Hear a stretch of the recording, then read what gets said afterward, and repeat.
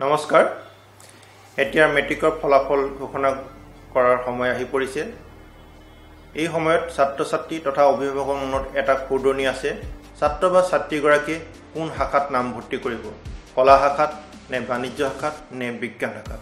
সাধাৰণতে এটা কথা লক্ষ্য কৰা দেখা যায় যে যদি ছাত্ৰ বা ছাত্ৰীগৰাকীয়ে মেট্ৰিক পৰীক্ষাত ভাল নম্বৰ লৈ উত্তীৰ্ণ হয় তেন্তে বিজ্ঞান শাখাত ছাত্ৰ বা ছাত্ৰীগৰাকীয়ে নিজেই নামভৰ্তি কৰে নহ'লে অভিভাৱকে কয় নহ'লে শিক্ষক শিক্ষয়িত্ৰীসকলে কয়। কিন্তু এনে হোৱা উচিত নহয়।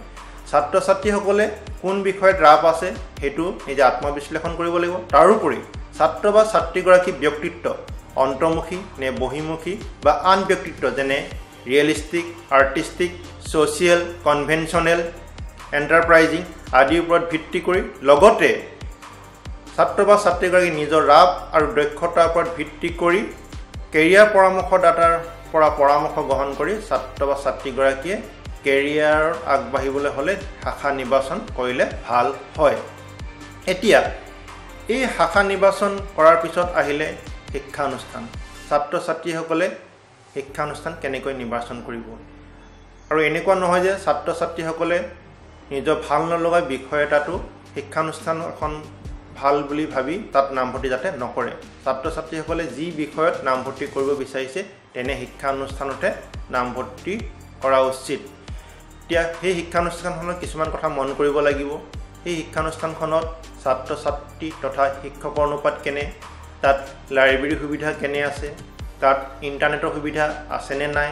তাত হোষ্টেলৰ সুবিধা আছেনে নাই? তাৰ লেবৰেটৰী সুবিধা কেনেকুৱা এনেকুৱা ধৰণৰ বিষয়বিলাক ছাত্ৰ বা ছাত্ৰীসকলে অনুসন্ধান কৰিব লাগিব। আৰু ইণ্টাৰনেটৰ ওপৰত অকল ভিত্তি কৰি নহয় প্ৰত্যক্ষভাৱে সেই শিক্ষানুষ্ঠানখনৰ অৱস্থিতি বিষয়ে জ্ঞান আহৰণ কৰিব লাগিব। তাৰোপৰি এটা কথা সকলোৰে মনত উদয় হয় যে বিজ্ঞান শাখা বা কলা শাখা বা বাণিজ্য শাখাত পঢ়ি ভৱিষ্যতে কি হ'ব পাৰি।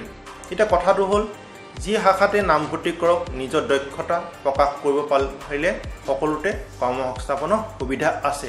এতিয়া কৰ্মসংস্থাপন মানে এনেকুৱা নহয় যে অকল চৰকাৰী চাকৰি।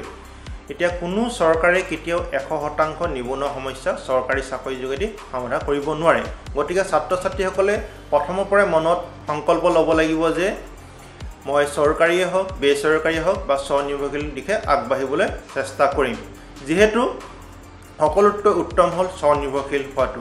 যিহেতু তাত কোনো মালিক নাথাকে তাত কোনো দিন ৰাতি কথা নাই তাত নিজৰ ইচ্ছামতে কাম কৰিব পাৰি। যিমানেই কাম কৰিব সিমানেই দোপত দোপে আগুৱাই যাবলৈ সক্ষম হ'ব। গতিকে ছাত্ৰ ছাত্ৰীসকলে পাঠ্যক্ৰমৰ প্ৰতিটো বিষয় খৰচি মাৰি পঢ়া শুনা কৰি গ'লে ভৱিষ্যতে আগুৱাই যোৱাত সহায় হ'ব। আৰু এই পৰীক্ষাত অকল পাছ কৰাৰ কাৰণে পঢ়া শুনা কৰিলে আজি বৰ্তমান যুগত ত্ৰিছ দি থকা সম্ভৱ নহয়। তাৰ লগতে ছাত্ৰ ছাত্ৰীসকলে সমাজৰ বিষয়ে পৰিৱেশৰ বিষয়ে অধ্যয়ন কৰিব লাগিব। যিহেতু চৌপাশৰ বিষয়ে অধ্যয়ন নকৰিলে ভৱিষ্যত আগুৱাই যোৱাত কিছু অসুবিধা হ'ব পাৰে। গতিকে ছাত্ৰ ছাত্ৰীসকলে সাধাৰণ জ্ঞানো বঢ়াব লাগিব। এতিয়া মই এইটোকে ক'ব বিচাৰিছোঁ যে নিজৰ দক্ষতাৰ ওপৰত ভিত্তি কৰি নিজৰ হবিৰ লগত সংযোগ কৰি পেলাই ছাত্ৰ ছাত্ৰীসকলে যদি নিজৰ শাখাটো নিৰ্বাচন কৰে আৰু শিক্ষানুষ্ঠানখন যদি নিজৰ পচন্দ বিষয়ৰ পোৱাৰ শিক্ষানুষ্ঠানত যদি নামভৰ্তি কৰে তেন্তে ভৱিষ্যত আগুৱাই যোৱাত সহায় হ'ব। এনেধৰণৰ বিষয়ে আমি আগৰ খণ্ডবোৰত আলোচনা কৰিম। গতিকে ছাত্ৰ ছাত্ৰীসকলে ৰিচ টাইম চাই থাকিব। ধন্যবাদ।